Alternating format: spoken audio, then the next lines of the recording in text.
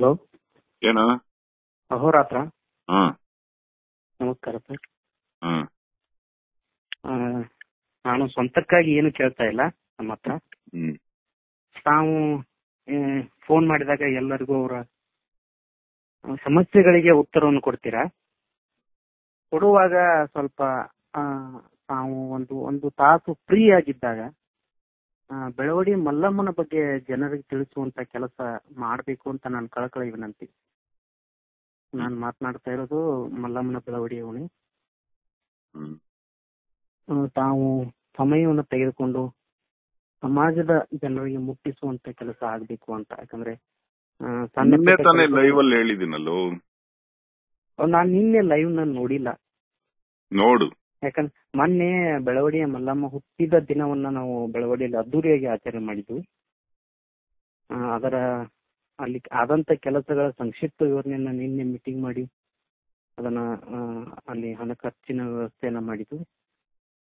ಅದಕ್ಕೆ ತಾವು ಅದೊಂದು ಕೆಲಸವನ್ನ ಮಾಡಬೇಕು ಅಂತ ಕಳಕಳಿಯ ವಿನಂತಿ. ನಿನಗೆ ಗೊತ್ತಿದೆ, ಹೇಳು ಬೆಳವಡಿ ಮಳ್ಳಮ್ಮನ ಕತೆ ಹೇಳು, ಜನ ಎಲ್ಲ ತಪ್ಪು ತಪ್ಪು ಮಾಡ್ತಾ ಇದಾರೆ. ಕರೆಕ್ಟ್ ಆಗಿ ಹೇಳು ಇವಾಗ ನೋಡೋಣ ಅದರಲ್ಲಿ ಯಾರೋ ಒಬ್ರು ಲೈವ್ನಲ್ಲಿ ಬಂದು ಯಾರೋ ಕನ್ನಡ ಪರ ಹೋರಾಟಗಾರರಂತೆ. ಅಂತ ಅವನು ಹರೀಶ್ ಅನ್ನೋ ಒಂದು ಹರೀಶ್ ಕುಮಾರ್ ಬೈರಪ್ಪ ಭೈರಪ್ಪ. ಹುಚ್ಚ ಅವನು ಅವನು ಬಾಯಿ ಮಾತಾಡ್ತಾನೆ ಬೆಳವಡಿ ಮಳ್ಳಮ್ಮನ ಕಥೆಯನ್ನ ನೀನ್ ಹೇಳು. ಕರೆಕ್ಟ್ ಆಗಿ ಹೇಳು ನೀನು. ಅದರಲ್ಲಿ ಅವನು ಹೇಳಿದಾನೆ ಛತ್ರಪತಿ ಶಿವಾಜಿ ಮಹಾರಾಜರಿಗೆ ಆ, ಬೆಳವಡಿ ಮಲ್ಲಮ್ಮ ಆ, ಖಡ್ಗವನ್ನ ಶಿವಾಜಿ ಮಹಾರಾಜರ ಕುತ್ತಿಗೆಗೆ ಹಿಡಿದ್ಲು ಅಂತ. ಇದೆಲ್ಲ ತಪ್ಪು ವಿಚಾರ. ನಾನು ಓದಿದ ಮಟ್ಟಿಗೆ ಓದಿದ್ದಲ್ಲ ನಿಮ್ಮೂರಲ್ಲಿ ಅದು ಸಾಹಸ ಇದೆ. ಅದು ಏನಾಯ್ತು? ಪುಂಡ ಪೋಖರಿಗಳಿಂದ ಆಗಿದ್ದದು. ಶಿವಾಜಿ ಮಹಾರಾಜರು ಬಂದ ತಕ್ಷಣ ಬರುವ ಬರುವಿಕೆಗೆ ಬೆಳವಡಿ ಮಳ್ಳಮ್ಮ ಅಣ್ಣ ಅಂತ ಕರೆಯೋದು ಶಿವಾಜಿ ಮಹಾರಾಜ ಭಗಿನಿ ಅಂತ ಕರೆದು ಆ ಅಮ್ಮನಿಗೆ ಇನ್ನಷ್ಟು ಅಧಿಕಾರ ಬರೋ ಹಾಗೆ ಮಾಡಿ ಒಂದು ಲಕ್ಷ ಸೇನೆ ಇರುತ್ತೆ ಶಿವಾಜಿ ಮಹಾರಾಜರದು. ಆ ಒಂದು ಮಿಸ್ಅಂಡರ್ಸ್ಟ್ಯಾಂಡಿಂಗ್ ಆಗಿ ಘರ್ಷಣೆಗಳಲ್ಲಿ ಇನ್ನು ಆಗೋ ಅನಾಹುತನ ತಪ್ಪಿಸಿದ ಶಿವಾಜಿ ಮಹಾರಾಜರು ಮತ್ತೆ ಆ ಅಮ್ಮನ ವೀರ ಸಾಹಸವನ್ನ ಹೊಗಳಿ ಕೊಂಡಾಡ್ತಾರೆ ಶಿವಾಜಿ ಮಹಾರಾಜರು. ಅವರು ನೀನ್ ನನ್ನ ಒಡ ಹುಟ್ಟಬಾರ್ದಿತ್ತೆ ಅಂತ ಕೂಡ ಹೇಳ್ತಾರೆ. ನನ್ನ ಯಾಕಂದ್ರೆ ಶಿವಾಜಿ ಮಹಾರಾಜರ ಅತ್ತೆ. ಅತ್ತೆಯನ್ನ ಒಬ್ಬ ನವಾಬನ ಕಡೆಯವನು ಹೊತ್ಕೊಂಡು ಹೋಗ್ಬಿಡ್ತಾನೆ. ಅವ್ರ ತಂದೆ ಹೋಗ್ಬಿಟ್ಟು ಆರು ತಿಂಗಳು ಅಂದ್ರೆ ತಂದೆ ತಂಗಿನ ಎತ್ಕೊಂಡೋದ್ರೆ ಆರು ತಿಂಗಳು ಸೆಣಸಾಡಿ ಆಕೆನ ಬಿಡಿಸ್ಕೊಳ್ಳೋದಕ್ಕೆ ಪ್ರಯತ್ನ ಆಗುತ್ತೆ. ಹೀಗೆ ಹೆಣ್ಣು ಮಕ್ಕಳ ಶೋಷಣೆ ಹಿಂಗ್ ಆಗೋವಾಗ ನಿನ್ನಂತ ಧೈರ್ಯ ಗಾತಿ ನಮ್ಮ ಜೊತೆ ಇದ್ರೆ ಎಷ್ಟು ಚೆನ್ನಾಗಿರೋದು ಅಂತ ಹೊಗಳುತ್ತಾರೆ ಇನ್ನು ಬೆಳವಡಿಯಿಂದ ಕಪ್ಪ ಸ್ವೀಕರಿಸೋದಿಲ್ಲ ಶಿವಾಜಿ ಮಹಾರಾಜರು. ಬೆಳವಡಿಗೆ ಇನ್ನೂ ಬಹುಮಾನಗಳನ್ನು ಕೊಟ್ಟು. ಬಳುವಳಿಯನ್ನು ಕೊಟ್ಟು ಆ ಬೆಳವಡಿಯ ಹೆಸರು ಶಾಶ್ವತ ಮಾಡ್ತಾರೆ. ಹ್ಮ್.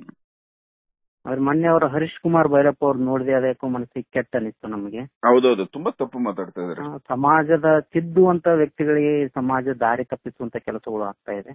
ಹ್ಮ್. ಅದು ಟಿವಿ ಫೈ ಅಂತ ಒಂದು ಚಾನೆಲ್ನಲ್ಲಿ ಕೂಡ ಇದೇ ತರನಾಗಿ ಹೇಳಿದ್ದಾರೆ. ಇಲ್ಲ ನಿನ್ನೆ ಅದನ್ನ ಸರಿಪಡಿಸದೆ.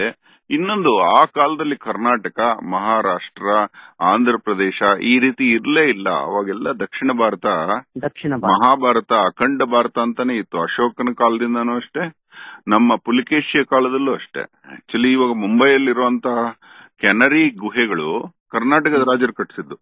ಅಜಂತ ಎಲ್ಲೋರಾದಲ್ಲಿರುವಂತಹ ಗುಹೆಗಳು ಕರ್ನಾಟಕ ರಾಜರು ಕಟ್ಟಿಸಿದ್ದು. ಕರ್ನಾಟಕ ರಾಜರು ಕಟ್ಟಿಸಿದ್ದು ಆಗ ಇರುವಾಗ ಆ ಭಾವನೆನೇ ಇಲ್ಲದೆ ಇದ್ದಾಗ ಇವನು ಇವನು ಬಾಯಿಗೆ ಬಂದಂಗ್ ಮಾತಾಡಿ ಶಿವಾಜಿ ಮಹಾರಾಜರನ್ನ ಅಪಮಾನ ಮಾಡೋದು ತಪ್ಪು ಬೆಳವಡಿ ಮಳ್ಳಮ್ಮನ್ನ ಬಳಸ್ಕೊಳ್ಳೋದು ತಪ್ಪು. ಬೆಳವಡಿ ಮಳ್ಳಮ್ಮನೇ ಇದ್ದಿದ್ರೆ ಅವನ್ ಕಪಾಳ ಕೊಡಿತಿದ್ರು. ಏಯ್. ಮಾತಾಡ್ತೀನಿ. ಹೆಣ್ಣಿಗೆ ಗೌರವ ಕೊಡೋದನ್ನ ಸೃಷ್ಟಿ ಮಾಡಿದ್ದೆ ಆ ಸಮಾಜದಲ್ಲಿ ಶಿವಾಜಿ ಮಹಾರಾಜರು. ಅವರೊಂದು ಮಾತು ಹೇಳ್ತಾರೆ ಬೆಳವಡಿ ಸಂಸ್ಥಾನಕ್ಕೆ ಶಿವಾಜಿ ಮಹಾರಾಜರು ಕಾಲಿಟ್ಟಿದಾರಲ್ಲ ಆ. ಮಣ್ಣು ಒಂದ್ಸಲ ಕಾರಲ್ಲಿ ಬರ್ತಾ ಅಲ್ಲಿ ಇಳಿದು ಬೆಳವಡಿ ಮಲ್ಲಮ್ಮನಿಗೂ ಶಿವಾಜಿ ಮಹಾರಾಜರು ಇದ್ದು ಇಬ್ರು ಸೇರಿದಂತ ಜಾಗ ಇದೆಯಲ್ಲ ಅಲ್ಲಿ? ಹೌದು. ಆ ಮಣ್ಣನ್ನ ಹಣೆಗೆ ಹಚ್ಕೊಂಡೆ ನಾನೊಂದ್ಸಲ ತಾವು ಬಂದಿದ್ರಾ ಇಲ್ಲಿ? ಹೌದೌದು ಒಂದ್ಸಲ ಹುಡುಕೊಂಡೇ ಬಂದಿದೆ ಬೆಳವಾಡಿ ಮಲ್ಲಮ್ಮ ನೋಡ್ಬೇಕು ಅಂತ. ಎರಡು ಬೆಳವಾಡಿ ಇದೆ. ಒಂದು ಬೆಳವಾಡಿ ಬೇಲೂರು ಬೇಲೂರ್ ಹತ್ರ ಒಂದಿದೆ. ಹೌದು. ಅದಲ್ಲ ನಿಮ್ಮ ಬೆಳವಾಡಿ ಬೆಳಗಾವ್ ಬೆಳಗಾವಿಗೆ ಹೋಗುವಾಗ ದಾರಿಲಿ ಸಿಗುತ್ತೆ. ಬೈಲಂಗಲ್ ತಾಲೂಕು. ಹಾ ಅಲ್ಲಿ ಇಳಿದು ಬಿಟ್ಟು ಅಲ್ಲಿ ಮರ ಎಲ್ಲ ಇದೆ. ಆ ಬೆಳವಡಿ ಮಲ್ಲಮ್ಮನ್ ಅಲ್ಲೊಂದು ಗುಡಿ ಇದೆ. ಅಲ್ಲಿ ನಾವು ಇಳಿದು ನಾನು ಊಹೆ ಮಾಡ್ಕೊಂಡೆ. ಇಲ್ಲೇ ಅವರಿಬ್ರು ವೀರಭದ್ರೇಶ್ವರ ದೇವಸ್ಥಾನ. ಹಾ ಇಲ್ಲೇ ಅವರಿಬ್ರು ಸಂಧಿಸಿರ್ಬೇಕು. ಆ ಮಹಾ ಆ ಶಿವಾಜಿ ಮಹಾರಾಜರು ಆ ಕಾಲದಲ್ಲಿ ಶಿವಾಜಿ ಮಹಾರಾಜರ ಕೈಯಲ್ಲಿ ಹೊಗಳಿಸ್ಕೊಳ್ಳೋದು ಅಂದ್ರೆ ಅಯ್ಯಮ್ಮ ಎಷ್ಟು ಪುಣ್ಯವಂತೆ ಮತ್ತೆ ಅಯ್ಯಮ್ಮ ಎಂತ. ಸಾಹಸಿ ಆಗಿರ್ಬೇಕು ಖಂಡಿತ. ಸುಮ್ನೆ ಬಾಯಿಗೆ ಬಂದಂಗ ಮಾತಾಡ್ತಾನೆ ಅವನು ಹರೀಶು. ನಿಮ್ಮೂರ್ಗೆ ಅವಮಾನ ಮಾಡ್ತಾ ಇದ್ದಾನ ಅವನು. ಖಂಡಿತ ಖಂಡಿತ. ಹ್ಮ್ ಚಿಂತೆ ಮಾಡ್ಬಿಡ. ಕಾಂಟ್ಯಾಕ್ಟ್ ನಂಬರ್ ಕೂಡ ಹುಡುಕ್ತಾ ಇದೀನಿ ಅವ್ರದ್ದು ಸಿಗ್ತಾ ಇಲ್ಲ. ಸರಿಯಾಗಿ ಇತಿಹಾಸವನ್ನ ತಿಳ್ಕೊಂಡು ಮಾತನಾಡಿ. ಇದು ನೀನು ಕೇಳಿದೆಯಲ್ಲ ಕೇಳಿದ್ಯಲ್ಲ ಅದಕ್ಕೆ ಹೇಳ್ತಾ ಇದೀನಿ ಶಿವಾಜಿ ಮಹಾರಾಜರು ತನ್ನ ನಲವತ್ತ ಎರಡನೇ ವಯಸ್ಸಿನಲ್ಲಿ ತಾಯಿ ಹತ್ರ ಹೋಗ್ತಾರೆ ಅಮ್ಮ ಛತ್ರಪತಿ ಆದೆ. ದಕ್ಷಿಣ ಸಾಮ್ರಾಜ್ಯದ ಅಧಿಪತಿಯನ್ನಾಗಿ ಮಾಡಿದ್ಯಾ? ನನಗೆ ಇದು ಮಣ್ಣಿನ ಮೇಲೆ ಕೂರುವ ಒಂದು ಸುಖನೇ ಚೆನ್ನಾಗಿದೆ ಈ ಆಧಿಪತ್ಯಕ್ಕಿಂತ. ಯಾಕೆ. ಮಗು ಹಂಗ್ ಮಾತಾಡ್ತಿದ್ಯಾ ಅಂತಾರೆ ಜಿಜಾಮಾತೆ ಇಲ್ಲಮ್ಮ ನನಗೆ ಹದಿನ ಹನ್ನೆರಡು ಜ್ಯೋತಿರ್ಲಿಂಗಗಳ ದರ್ಶನ ಮಾಡ್ಬೇಕು ಅನ್ನೋ ಆಶಯ ಇದೆ. ಇಷ್ಟು ಛತ್ರಪತಿ ಆದ್ರೂ ಇನ್ನೂ ಹನ್ನೆರಡು ಜ್ಯೋತಿರ್ಲಿಂಗ ನೋಡಕ್ಕಾಗಲ್ಲ. ಅದರಲ್ಲೂ ನನಗೆ ಶ್ರೀಶೈಲ ಜ್ಯೋತಿರ್ಲಿಂಗ ಕನ್ಸಲ್ಲೆಲ್ಲ ಬರ್ತಾ ಇದೆ. ನಾನು ಹೋಗ್ಬೇಕು ಅಂತಿದ್ದೀನಿ. ಅಂದ್ರೆ ನೀನ್ ಅನುಮತಿ ಕೊಡು ನಾನು ಸನ್ಯಾಸಿಯ ವೇಷ ಧರಿಸಿ ಹೋಗ್ತೀನಿ ಅಂತಾರೆ. ಇಲ್ಲಪ್ಪ ಛತ್ರಪತಿ ನಿನ್ನ ಆಗುವ ಚಿಕ್ಕ ಅನಾಹುತವು ತೊಂದರೆ ಆಗುತ್ತೆ ನೀನು ಒಂದು ಲಕ್ಷ ಸೇನೆಯನ್ನು ತೆಗೆದುಕೊಂಡು ಹೋಗು ಅಂತಾರೆ. ಆಗ ಅವರು ಒಂದು ಲಕ್ಷ ಸೇನೆಯನ್ನು ತೆಗೆದುಕೊಂಡು ಹೋಗೋದು ಅದರ ಖರ್ಚು ವೆಚ್ಚ ನನ್ನ ಒಬ್ಬ ದರ್ಶನದ ಸುಖಕ್ಕೋಸ್ಕರ ಇಷ್ಟು ಮಾಡ್ಬೇಕಾ ಅಂತ ಕೇಳ್ತಾರೆ. ಅದಕ್ಕೆ ಹೇಳ್ತಾರೆ ಇದು ದೈವ ಕಾರ್ಯ ಮಗು ನೀನು ಹೋಗ್ತಾ ಶೋಷಿತರನ್ನ ಉಳಿಸ್ತಾ ಶೋಷಣೆ ಮಾಡುವವರನ್ನ ಖಂಡಿಸ್ತಾ ಯಾವ್ಯಾವ ರಾಜ್ಯದಲ್ಲಿ ಜನ ಸುಖವಾಗಿದ್ದಾರೆ ಸುಖವಾಗಿಲ್ಲ ನೋಡ್ತಾ ಜನಗಳ ಹಿತಕ್ಕೋಸ್ಕರ ಆಯಾ ರಾಜ್ಯದ ಮೇಲೆ ಆಡಳಿತ ನಡೆಸ್ತಾ ಯುದ್ಧ ಮಾಡ್ತಾ ಕಪ್ಪ ಸ್ವೀಕರಿಸ್ತಾ ಹೋಗು ಅಂತಾರೆ. ಅದಕ್ಕೆ ಶಿವಾಜಿ ಮಹಾರಾಜರು ಒಪ್ಪಿ ಒಂದು ಲಕ್ಷ ಸೇನೆಯನ್ನು ತೆಗೆದುಕೊಂಡು ದಕ್ಷಿಣಕ್ಕೆ ಬರ್ತಾರೆ. ಆಗ ನಡೆಯುವ ಘಟನೆ ಬೆಲವಡಿ ಮಲ್ಲಮ್ಮನ ಕತೆ. ಆಗ ಅವ್ರು ಹೇಳ್ತಾರೆ ಬೆಲವಳ್ಳಿ ಮಲ್ಲಮ್ಮ ನಿನಗೆ ಇಂದಿನಿಂದ ನೀನು ನನ್ನ ತಂಗಿಯಾಗಿದ್ದೀಯಾ. ನಿನಗೆ ಏನು ಕಷ್ಟ ಬಂದ್ರು ನಿಮ್ಮ ಅಣ್ಣ ಇದ್ದಾನೆ. ನಿನ್ನ ರಾಜ್ಯಭಾರ ಮುಂದುವರಿಸು ಅಂತ ಹೇಳಿ ಹೋಗ್ತಾರೆ. ಎಂತ ಬೆಳವಡಿ ಅಂದ್ರೆ ನಿಮ್ಮ ಬೆಳವಡಿ ಸಂಸ್ಥಾನ ತುಂಬಾ ಚಿಕ್ಕದು. ಚಿಕ್ಕ ಸಂಸ್ಥಾನ. ಆ ಚಿಕ್ಕ ಸಂಸ್ಥಾನದ ಮುಂದೆ ಶಿವಾಜಿ ಮಹಾರಾಜರು ತಲೆಬಾಗಿ ಗೌರವಿಸಿ ಹೋಗ್ತಾರೆ. ಆ ಪ್ರಗಲ್ಭ ಅವನು ಹರೀಶ್ ಮಾಡಿದ್ದು. ಒಂದು ಲಕ್ಷ ಸೇನೆ ಅದು ಕತೆ ಹೇಳ್ತೀನಿ. ಇವ್ರು ಮುಂದೆ ಹೋಗ್ತಾರೆ. ಮಂತ್ರಾಲಯಕ್ಕೆ ಹೋಗ್ತಾರೆ ರಾಘವೇಂದ್ರ ಸ್ವಾಮಿಗಳನ್ನ ಭೇಟಿ ಮಾಡ್ತಾರೆ. ಹಾ ಅಲ್ಲಿಂದ ಮುಂದಕ್ಕೆ ಹೋದಾಗ ಮಂತ್ರಾಲಯಕ್ಕೆ ಹೋದಾಗ ನವಾಬನಿಗೆ ಯಾರೋ ಗುರಿ ಮುಟ್ಟಿಸ ಮೆಸೇಜ್ ಕೊಡ್ತಾರೆ. ಏನಂತ ಶಿವಾಜಿ ಮಹಾರಾಜರು ನಿಮ್ ಮೇಲೆ ಯುದ್ಧಕ್ಕೆ ಬರ್ತಾ ಇದ್ರೆ ಒಂದು ಲಕ್ಷ ಸೇನೆ ತಗೊಂಡು ನವಾಬ ಗಡ ಗಡ ಗಡ ಗಡ ನಡ್ಗೋಗ್ಬಿಡ್ತಾನೆ. ಇನ್ನಾಯ್ತು ನಮ್ ಕತೆ ಅಂತ ಹೇಳಿ ನಂದ್ಯಾಲದ ಹತ್ರ ಬಂದು ನವಾಬರು ಶಿವಾಜಿ ಮಹಾರಾಜರನ್ನ ಸಂಧಿಸ್ತಾರೆ. ಸಂಧಿಸಿ ನೀವು ನಮ್ಮ ಮೇಲೆ ಯುದ್ಧ ಬರುವ ಹಾಗೆ ಇಲ್ಲ ಪತ್ರ ಬರೆದ್ರೆ ನಾವು ನಿಮಗೆ ಸರೆಂಡರ್ ಆಗ್ತೀವಿ ಅಂತ. ನೀವ್ ಯಾಕೆ ಇಷ್ಟು ಸೈನ್ಯ ತಗೊಂಡ್ ಬರಕ್ ಬಂದ್ರಿ ಒಂದು ಕಮ್ಯುನಿಕೇಶನ್ ಇಲ್ಲ ಹಂಗೆ ಬಂದಿದ್ದೀರಿ ಅಂತ ಅದಕ್ಕೆ. ಶಿವಾಜಿ ಮಹಾರಾಜರು ಹೇಳ್ತಾರೆ ನಿಮ್ಮ ನಿಮ್ಮ ತಂದೆ ಶಹಾಜಿಯಿಂದ ನಾವು ಅವರ ಭಿಕ್ಷೆಯಲ್ಲಿ ಬದುಕ್ತಾ ಇದೀವಿ ಶಹಾಜಿ ಮಹಾರಾಜರು ನಮ್ಮ ತಂದೆಯನ್ನ ಈ ಸಿಂಹಾಸನದ ಮೇಲೆ ಕೂಡಿಸಿ ಹೋಗಿದ್ದಾರೆ ಈ ಸಂಸ್ಥಾನ ನಿಮಗೆ ಸೇರಿದ್ದು ಅಂತಾರೆ ನವಾಬರು. ಅವಾಗ ಶಿವಾಜಿ ಮಹಾರಾಜರು ನಾವು ಯಾವುದೇ ಯುದ್ಧದ ಗುರಿಯಲ್ಲಿ ಬರಲಿಲ್ಲ. ನಾವು ಬಂದಿದ್ದು ಶ್ರೀಶೈಲ ದರ್ಶನಕ್ಕೆ ಅಂತ ಹೇಳಿ ಅವರು ನವಾಬ ಅವರಿಗೆ ಕಪ್ಪ ಕೊಟ್ಟು ಒಂದು ಲಕ್ಷ ಸೇನೆಗೆ ಆಹಾರ ವ್ಯವಸ್ಥೆಗಳನ್ನೆಲ್ಲ ಮಾಡಿ ಶ್ರೀಶೈಲದಲ್ಲಿ ಒಂದು ತಿಂಗಳು ಇರುವ ವ್ಯವಸ್ಥೆ ಮಾಡಿಕೊಡ್ತಾರೆ. ಇಂತ ನವಾಬಾನೇ ಗಡಗಡ ನಡಗಬೇಕು ಅಂದ್ರೆ.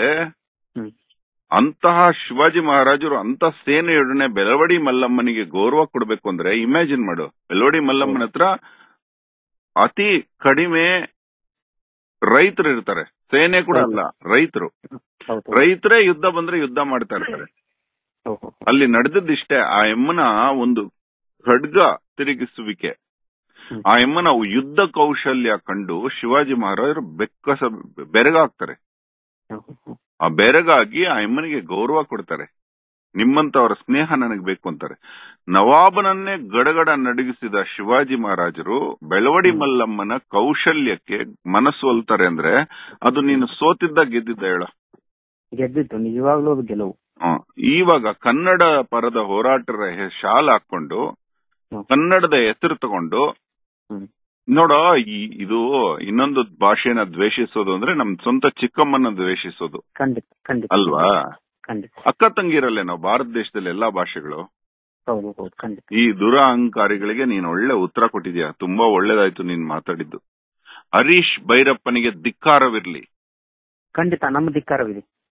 ಓಕೆ ಬಂಗಾರ. ಖಂಡಿತ ನಾವು ಬೆಳವಡಿಯ ಜನತೆ ಎಲ್ಲರೂ ಕೂಡ ಅವರ ಧಿಕ್ಕಾರವನ್ನು ಸೂಚಿಸ್ತೀವಿ. ಆ, ಈಗ ನಮ್ಮ ಸರ್ಕಾರದಿಂದ ಯಾವುದೇ ರೀತಿಯ ಮೂರ್ತಿಗಳು ಕರ್ನಾಟಕದಲ್ಲಿ ಎಲ್ಲಿಯೂ ಇಲ್ಲ. ಬೆಳವಡಿ ಮಲ್ಲ ಬೆಳವಡಿ ಮಲ್ಲಮ್ಮನ ಪುತ್ಥಳಿ ಬೇಕು. ನಾಲ್ಕು ಕಾಲ್ ಮೇಲೆ ಈ ಕೂತಿರುವಂತ ಕುದುರೆ ನಾಲ್ಕು ಕಾಲ್ ಮೇಲೆ ನಿಂತಿರೋ ಕುದುರೆಯಲ್ಲಿ ಬೆಳವಡಿ ಮಲ್ಲಮ್ಮನ ಪುತ್ಥಳಿ ಬೇಕು. ಯಾಕಂದ್ರೆ ಬೆಳವಡಿ ಮಲ್ಲಮ್ಮ ಯುದ್ಧದಲ್ಲಿ ಮರಣಿಸಲಿಲ್ಲ. ಹೌದು ಹೌದು ಹೌದು. ಕೊನೆವರೆಗೂ ಆ ರಾಜ್ಯಭಾರ ಮಾಡಿ ಮರಣಿಸಿದ್ದು ನಾರ್ಮಲ್ ಡೆತ್ ಹಾಗಾಗಿ ಕುದುರೆ ಕಾಲುಗಳು ನಾಲ್ಕು ನೆಲದ ಮೇಲೆ ಇರುವಂತಹ ಪುತ್ಥಳಿ ಬೇಕು. ಅದೇ ಈಗ ಚಿಕ್ಕ ಮೂರ್ತಿ ನಮ್ಮ ಊರಲ್ಲಿ ಹಿರಿಯರೆಲ್ಲ ಇಲ್ಲ ಕೂಡಿ ಇಲ್ಲ ಮಾಡಿ ನೋಡ್ದೆ ಆ ಮೂರ್ತಿ ಚೆನ್ನಾಗಿಲ್ಲ ಅಲ್ಲಿ. ಏ, ಅದನ್ನ ಮೊನ್ನೆ ತೆರವು ಕೂಡ ಮಾಡಿದ್ದೀವಿ. ಆ, ಸರ್ಕಾರದಿಂದ ಇಪ್ಪತ್ತೈದು ಲಕ್ಷ ರೂಪಾಯಿ ಮೂರ್ತಿ ಕೂಡ ಈಗ ಸಿದ್ಧವಾಗಿದೆ. ಇಲ್ಲ ಅಷ್ಟೇ ಅಲ್ಲ. ನೀವು ಬೆಳವಡಿಯಲ್ಲಿ ಮಲ್ಲಮ್ಮನ ಹೆಸರಲ್ಲಿ ಮರಗಳನ್ನ ಕಾಪಾಡಿ ನೀವು. ಮರ ಬೆಳೆಸೋದು ಬೇಡ ಹಾಕೋದು ಬೇಡ ಇರೋ ಮರಗಳನ್ನ ಚೆನ್ನಾಗಿ ಕಾಪಾಡಿ ಬೆಳವಡಿಯ ಹೆಸರು ಉಳಿಸಿ ಓಕೆ? ಖಂಡಿತ. ಕಾಡು ಉಳಿಸಿ. ತಮ್ಮ ಧನ್ಯವಾದಗಳು ಧನ್ಯವಾದಗಳು. ಮತ್ತೆ ಇನ್ನೊಂದು ನೀವು ಇನ್ನೊಂದು ಮೂರ್ತಿ ಮಾಡಿದ್ರೆ ಒಳ್ಳೇದು. ಶಿವಾಜಿ ಮಹಾರಾಜರು ಬೆಳವಡಿ ಮಲ್ಲಮ್ಮ ಒಟ್ಟಿಗೆ ಆ ಒಂದು ಶಾಂತಿಯಾಗಿ ಆ ಅಣ್ಣ ತಂಗಿ ಗೌರವಿಸುವಂತ ಗೌರವ ಇರೋ ಹಂಗೆ ಮೂರ್ತಿಗಳು ಮಾಡಿದ್ರೆ ಇನ್ನು ಒಳ್ಳೇದು. ಖಂಡಿತ ಅದನ್ನು ಕೂಡ ಮನವಿಯನ್ನ ಕೊಟ್ಟಿದ್ದೇವೆ ಮಾನ್ಯ ಸಂಸದರಿಗೆ. ಮನವಿ ಕೂಡ ಕೊಟ್ಟಿದ್ದೇವೆ ಅದು ಪರಿಶೀಲನೆಯಲ್ಲಿದೆ ಅಂತ ಹೇಳಿದ್ದಾರೆ ಆದ್ರೆ ಈಗ ಸರ್ಕಾರದಿಂದ ಬೆಳವಡಿ ಮಲ್ಲಮ್ಮನ ಮೂರ್ತಿ ಕೂಡ ಈಗ ಸಿದ್ಧವಾಗಿದೆ. ಬರುವ ನವೆಂಬರ್ನಲ್ಲಿ ಕೂಡ ಅದು ಮೂರ್ತಿ ಅಲ್ಲಿ ಈ ರೀತಿ ಅಪಪ್ರಚಾರ ಮಾಡೋರಿಗೆ ಫೋನ್ ಮಾಡಿ ದಂಡಿಸಿ ಎಚ್ಚರವಿರ್ಲಿ ಅಂತ ಹೇಳಿ ನಮ್ಮೂರ್ನ ಹೆಸರು ಹಾಳು ಮಾಡಬೇಡಿ ಅಂತ ಹೇಳಿ. ಖಂಡಿತ ಖಂಡಿತ. ಓಕೆ ಥ್ಯಾಂಕ್ ಯು ಧನ್ಯವಾದ ಧನ್ಯವಾದ.